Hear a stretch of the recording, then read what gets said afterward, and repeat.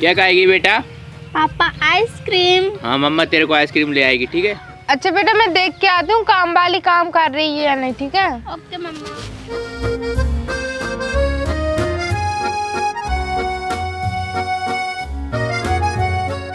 क्यों रे सुमित्रा? तू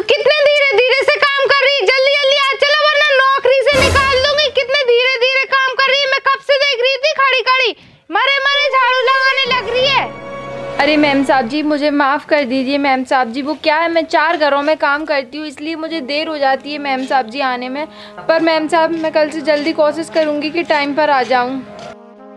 अरे मैम साहब जी, और वो क्या है? मेरी बेटी स्कूल भी जाती है, उसे स्कूल के लिए टिफ़िन तैयार करना होता है, इसलिए मुझे देर हो जाती है। पर मैं कोशिश करूँगी कि मैं कल से जल्दी आ जाया करूँ टाइम पर। आप चिंता मत करिए, मैं आपके टाइम पर आ जाया करूँगी। ओ और तेरी बेटी स्कूल भी जाती है। मुझे तो सुनकर भी हँसी आ रही है। मुझे तो हँसी आ रही, तेरी बेटी पढ़ाई भी करती तुम जैसे लोग पढ़ाई भी करते हो, मुझे तो बहुत हँसी आ रही है सच में। तूने क्या कहा? तू चार घरों में काम करती है, तेरी बेटी को भी ले जाएगा और चार घरों में वो भी काम कर लेगी। इससे तुझे भी आराम मिलेगा और पैसे भी ज़्यादा आएँगे। तेरे घर में ये पढ़ने लिखने से कुछ नहीं होगा। अरे मैम साहब जी, हम लोग तो पढ़ लिख नहीं पाए, इसलिए हमें घरों के काम करना पड़ते हैं। हम सोचते हैं कि अगर हमारे बच्चे पढ़ लेंगे तो हमारे बच्चों को कम से कम घर के काम तो नहीं करना पड़ेंगे। वो भी कुछ बन जाए, हम बस यही तो चाहते हैं, इसीलिए इतनी मेहनत करते हैं। तुम जैसे लोग पढ़ेंगे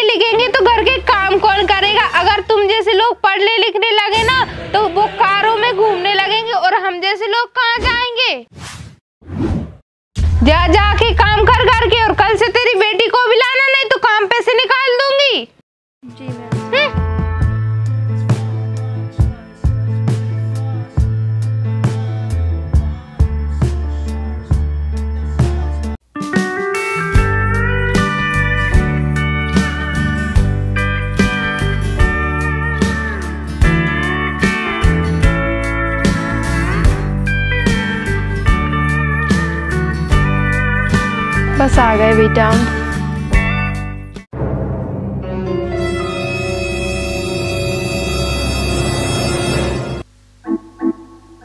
अरे सुमित्रा आंटी आपने इसके लिए कपड़े नहीं खरीदे? इसके कपड़े कितने फटे हुए हैं? अरे बेटा मेरी बेटी को मैं नए कपड़े दिलाती हूँ बहुत सारे पर वो कभी खरीदती ही नहीं है। वो नहीं पहनती मैंने उससे कई बार कहा नए कपड़े पहनने की पर वो लेती ही नहीं है। अरे सुमित्रा आंटी, मेरे कबर्ड में मेरे बहुत सारे न्यू कपड़े रखे हैं। आप देखोगी। चलो ना आंटी।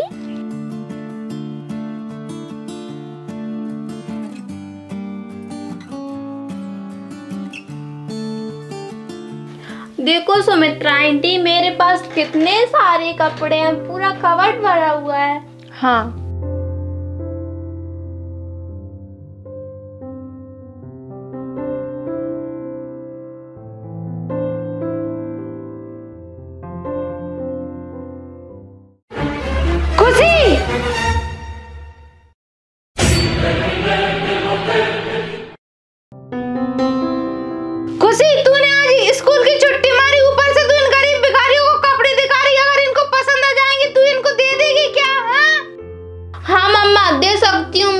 कपड़े, पर आपको इससे क्या? कपड़े तो मुझे मेरे पापा दिलाते हैं ना, और आपने मुझसे ज़्यादा भेज की ना तो मैं आधे कपड़े संध्या को दे दूँगी। आधे क्या? और मैं पूरे कपड़े भी दे सकती हूँ उसे। मम्मी यार, आप ना मुझसे कम बोला करो थोड़ा। जब देखो जब कपड़े कपड़े, और मुझसे बहस करती रहती हो हमेशा।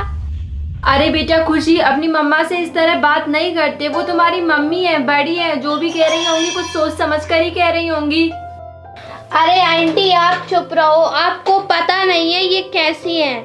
ये मेरी मम्मा ना हमेशा ये कहती है ना वो कर कर ही रहती हैं। ए खुशी मुझसे ज़्यादा ज़ुबान मत चला। जा जाके कमरे में बैठ नहीं तो मार मार के तेरी चमड़ी उधेड़ दूँगी। जा यहाँ से।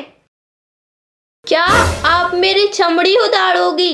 आप मम्मी रुको अभी मैं क्या करती हूँ? मैं अपने आज आधे कपड़े संध्या को देकर ही रहूँगी।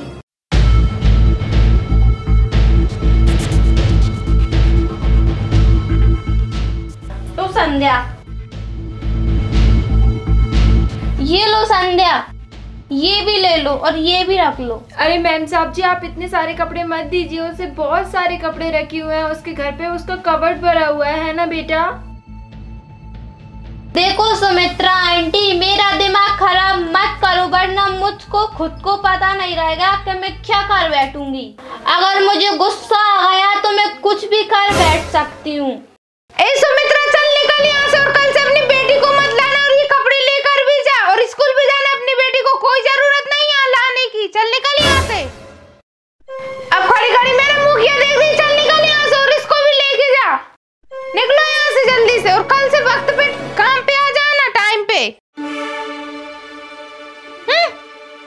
भिखारी। मम्मा आज तो मैंने बहुत सारी एक्टिंग कर ली।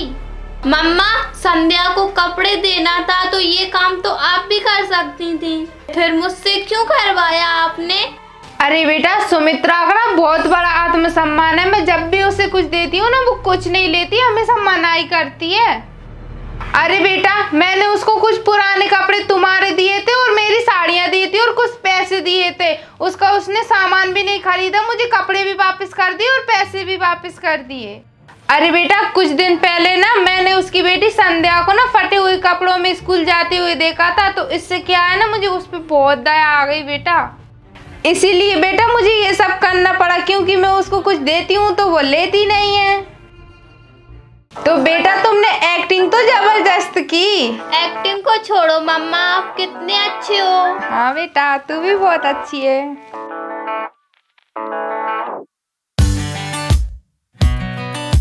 I love you mummy. Love you too बेटा।